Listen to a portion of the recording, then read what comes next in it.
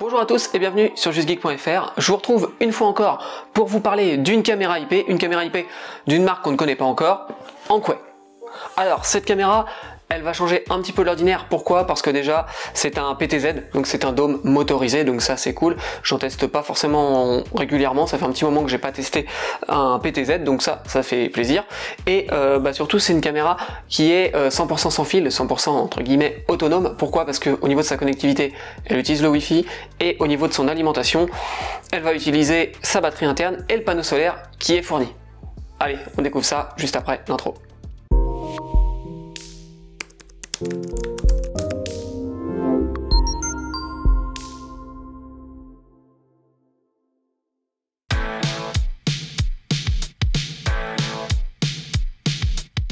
d'habitude, on va faire un petit tour par le qu'est-ce qu'il y a dans la boîte. Alors à l'intérieur du carton, on va trouver bah, déjà un gabarit de perçage pour pouvoir installer la caméra, un manuel, un panneau solaire, la caméra en elle-même, le pied avec des vis et des chevilles, et puis un câble de recharge.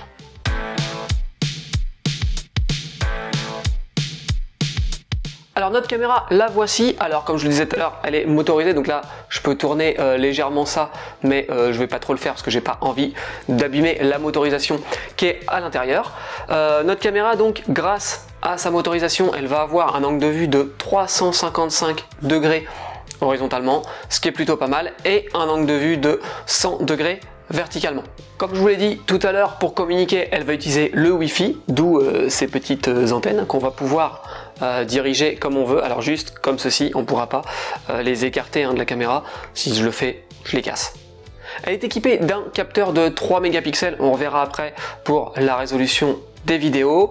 Elle est équipée de l'audio en bidirectionnel, ça veut dire qu'elle intègre à la fois un micro et un haut-parleur pour pouvoir bah, capter le son euh, de ce qu'elle filme et également diffuser du son si on veut par exemple parler à travers la caméra. Comme on le voit ici, la caméra est équipée de LED infrarouge, ce qui va lui permettre d'avoir une vision nocturne, et elle est également équipée d'un projecteur LED qui va permettre d'allumer la lumière la nuit en cas de détection, et donc potentiellement d'avoir plus de détails, de mieux voir ce qui se passe lorsqu'il fait nuit. La caméra peut enregistrer soit sur détection de mouvement ou soit de manière continue 24 h sur 24. Notons au passage que sa vision nocturne a une portée annoncée de 20 mètres. C'est une caméra sans fil, comme vous le voyez, alors elle intègre une batterie de 7800 mAh, couplée bien évidemment au panneau solaire qui est fourni, ce qui est censé lui donner une autonomie de 365 jours par an, d'après euh, le fabricant. On verra tout à l'heure ce que ça donne en pratique. Ce sera en revanche sa seule possibilité pour l'alimenter, hein, puisqu'elle ne possède pas de câblage, donc il n'y a pas de, connecteur secteur pour brancher un adaptateur secteur, c'est pas possible. La seule chose qu'on a, c'est un câble USB pour éventuellement recharger euh, la batterie interne si on ne passe pas par le panneau solaire. Et enfin, si on la pivote sur le dessous, on constatera qu'on a une petite trappe et on a un slot micro SD qui nous permettra de mettre des cartes jusqu'à 128 Go pour pouvoir enregistrer euh, soit sur détection de mouvement, soit en continu. Ça, je l'ai déjà dit, mais je le redis. Parce que j'ai envie, parce que c'est ma vidéo après tout.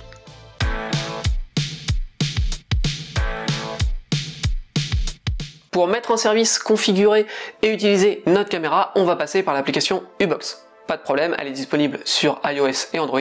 C'est une application très ergonomique qui fonctionne un peu comme toutes les applications, on va dire, de caméra IP. On retrouvera donc classiquement bah, la live view, hein, la vue en temps réel de notre caméra, avec euh, les boutons pour éventuellement euh, couper le son, etc. On aura ici euh, bah, le contrôle de notre PTZ hein, pour pouvoir le diriger, lui donner la position qu'on souhaite. Et l'application possède également un menu ce menu nous permettra de choisir si on souhaite ou non enregistrer sur la carte SD, si on souhaite ou non envoyer les euh, clichés sur le cloud de la marque, etc.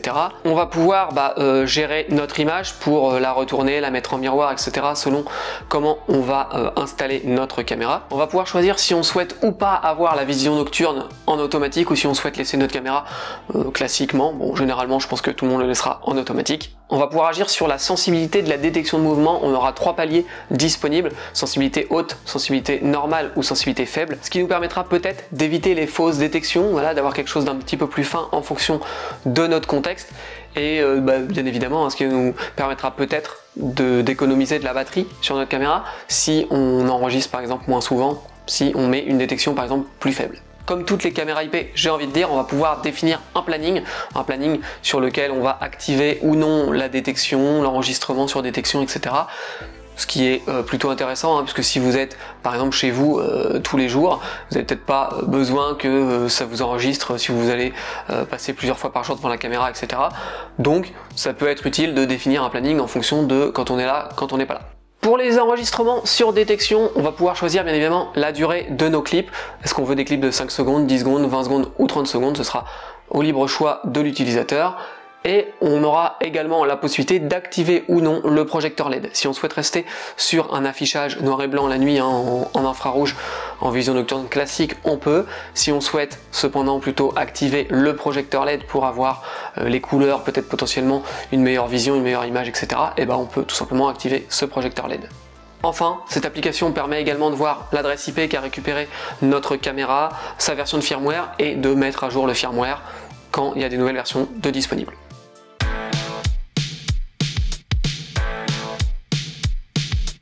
Ça fait maintenant plusieurs semaines que j'utilise cette caméra de chez Ankway et je vais donc pouvoir vous donner mon avis sincère sur le sujet. On va commencer par le premier item, la qualité d'image. La caméra produit des fichiers d'une euh, résolution de 2304 pixels par 1296 pixels.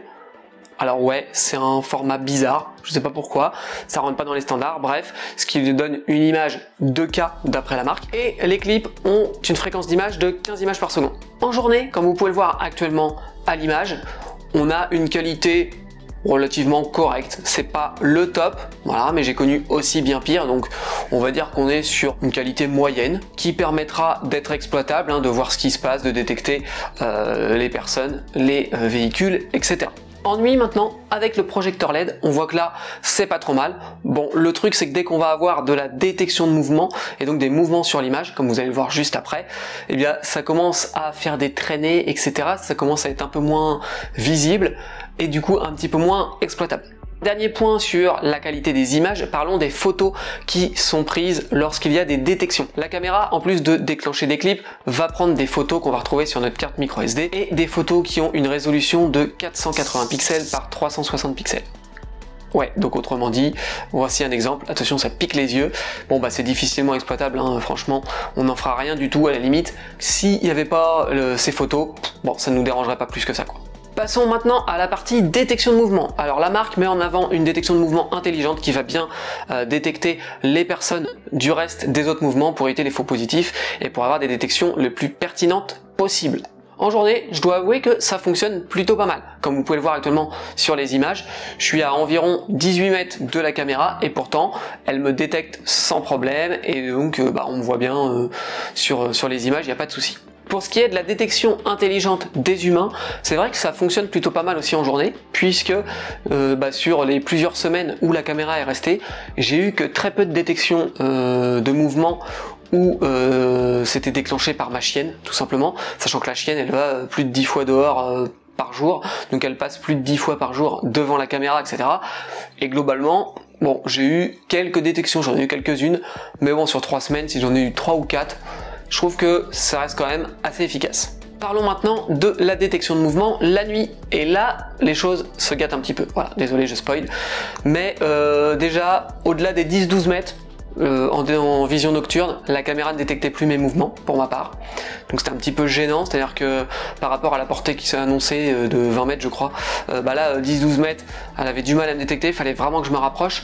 Donc là pour le coup, bah, c'est vraiment dommage parce qu'on perd un petit peu l'efficacité de cette détection qui est plutôt efficace journée. Et également, bah, il faut noter aussi que j'ai eu beaucoup plus de détection de ma chienne la nuit, donc même le côté détection intelligente, bah, ça fonctionne aussi moins bien quand on est euh, en mode nuit par rapport à la journée. Enfin, comme vous le voyez ici en mode nuit, dès qu'on a un mouvement sur l'image, et eh bah tout de suite celle-ci devient moins exploitable. Hein. On voit bien que ça fait euh, de la pixelisation, des traînées, je sais pas comment l'expliquer, mais vous le voyez. Et donc c'est pas terrible terrible au point que bah, quand il y aura du mouvement, euh, les images vont être tout de suite moins exploitables. Enfin, petite chose que je voudrais souligner, quand on a une détection de mouvement, il y a comme une petite latence entre le mouvement détecté, je pense, et l'enregistrement du clip. Pourquoi? Parce que si vous le voyez par exemple sur le clip ici, je l'ai pas coupé, c'est vraiment le début du clip, et on voit que bah, j'apparais comme ça au milieu de l'image, et on m'a pas vu arriver. Ce qui fait qu'en fait, au moment où je suis arrivé, il y a eu une petite latence, ça s'est mis à enregistrer et j'étais déjà bah, au milieu de, l'image. Donc c'est un petit peu dommage puisque ça peut enlever un petit peu de la pertinence justement à cet enregistrement sur détection, euh, puisque le but du jeu bah, c'est d'économiser la batterie et de pas enregistrer tout le temps pour rien. Maintenant si c'est quelqu'un qui passe et qu'elle est un petit peu trop longue à détecter et surtout à, à lancer l'enregistrement, potentiellement on peut perdre de l'information et pour le coup bah, c'est un petit peu contraire à l'objectif de ce genre de produit.